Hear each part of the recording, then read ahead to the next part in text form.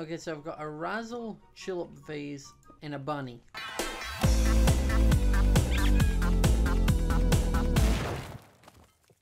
Hey guys, and welcome back to the next episode of Harmony Hollow. So, there's a little bit of an issue with this episode because I actually have already filmed this episode, but there's no audio. Yup. So, I'm going to just have to give you a recap and a rundown of everything I did last episode because I can't do it again. You will see why. So, I originally started upstairs and came downstairs because I made this little thing here, which was a culinary generator, mainly because I thought I was going to be able to make cookies. Turns out I cannot make cookies. I wanted to make a tree cookie. These still do not know how to do them, but it's not through this. So that is what I did to start with. And then I thought, you know what, I'm going to make a shop and I'm going to sell shields. So I went and made a bunch of shields, made a shop and did all that. And then nothing to come from it because obviously I lost footage. Why is there seeds here? What's happening? Oh, oh no. There's a command block there. Why is there a command block there? I can't click on it. I don't want to stand on it. Is there anything under it? I'm just having a check. Give me a minute. There's some water, but I think that was just there. Oh god, this wasn't here before. Um. Oh! Britt did a thing! Okay, so, this actually helps. Basically, we were building little teleports to and from spawn so that we can get to everyone's houses. Now, obviously, I'm not keeping this here. I will need to get it moved and I'll build like a little hut over here. I can do that this episode now that I can't do the shop. But this helps because let's just go back and we can have this little room here. I built the room, but Britt's done some reworking of it to make it cute as well. And then if we come up here, this is us in spawn now. So it's a teleport hub. Oh, cute. She's got it already. Oh, and she, girl's been busy. She's taken down some more houses. Cute. So now I can actually show you my shop. I've got Lauren's pirate shop over there. Mitty's working on, I think, a sweet shop. There's the hamster shop, the fruit shop, the igloo, whatever that is. I know it says Woolworths, but it's more like pile of ugly. Ew. But mine... I've been as cold as trapped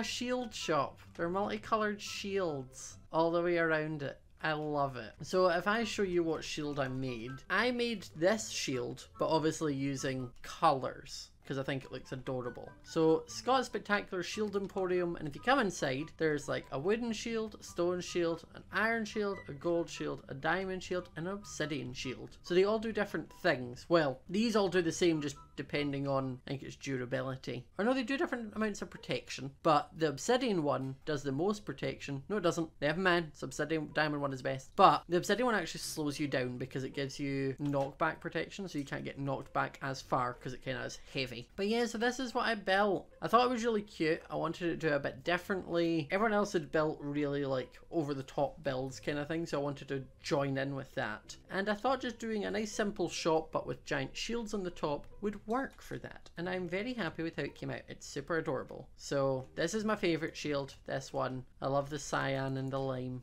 It just looks adorable. So let me know in the comment section down below what you think of it. What do you think of the shop? Because, I mean, I'm asking your opinion. I'm not going to change it. I like approval. Give me approval. So we're actually going to go back to this teleporter hub and go back home. And we're going to build ourselves a little hut because obviously I don't want people teleporting right there. I want people to see my house right away. I ain't about that life. I'm thinking maybe here. I Need to decide what I want to build out of because I have some stuff here.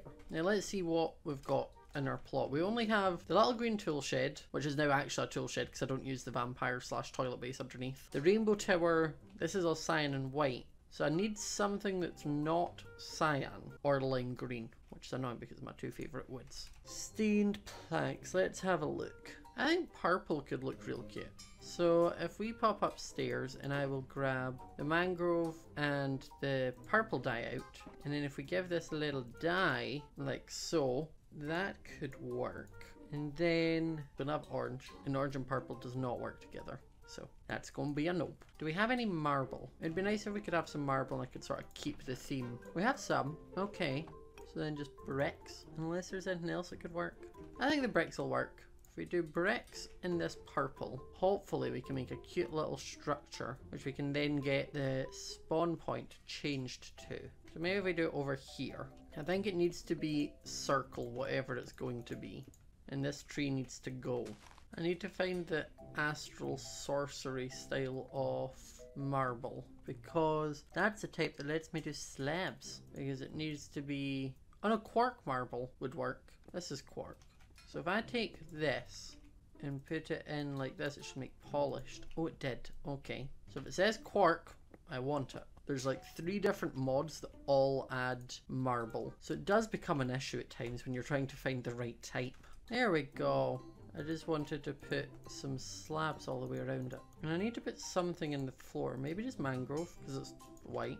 And then I want this to be where the command block is. And I need a roof of some sorts. I also want some shears, which I think I have in here. Oh, I do. Because I want some rainbow leaves to decorate around it, along with some of these flowering vines. But I'm going to need something to go on top. Well, I have some other clay, so I could dye that a different colour. Maybe just do purple on purple. Hopefully 60 is enough. The clay shingles are just so much nicer than normal clay. I don't know why, it just is. And I'm actually going to just make it one taller, because this is all going to be covered anyway, so it won't look too tall. I'm just hoping this is going to be enough. Oh, it was. And that looks cute. Now if we get some rainbow leaves and traipse these down it, like so. And then I want to just grab some of these flowering vines.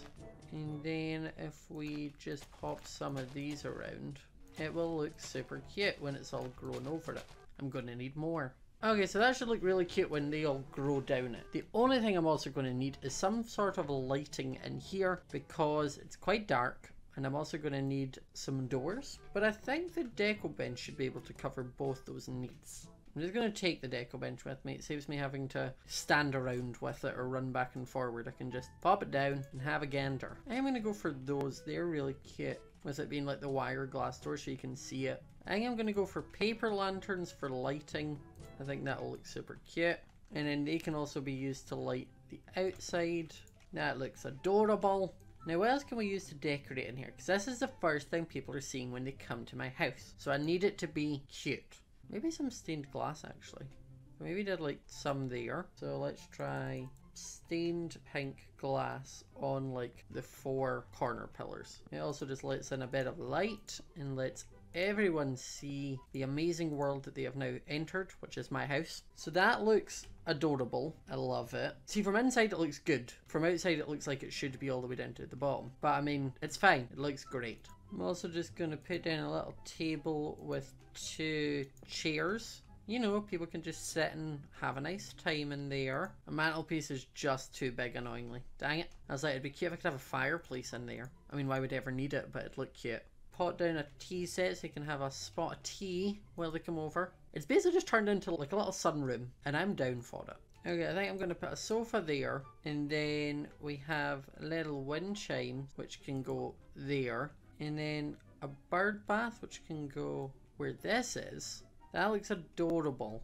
I don't know if I like the sofa. I feel like the sofa's just too big. I thought the sofa would work. I was incorrect. It did not. What if I just did some slabs there and then put some stuff like decorative on it? That could work. Okay, so I've got a Razzle tulip vase and a bunny. That looks cute. That's better than the sofa. Much better than the sofa. So if we pick up the deco bench, and then if we have a little shut of the doors, let's see what it looks like. Oh, that's adorable. Oh, it's so cute. It looks so cute. I'm happy. Now I have a little area when someone gets teleported here. They're in a nice little area. It means if they come at night time, they'll be safe. I mean, my house is pretty safe anyway, but means no one can sue me for getting attacked. It'll be great. I also kind of want to dig up all these trees and then replant them all.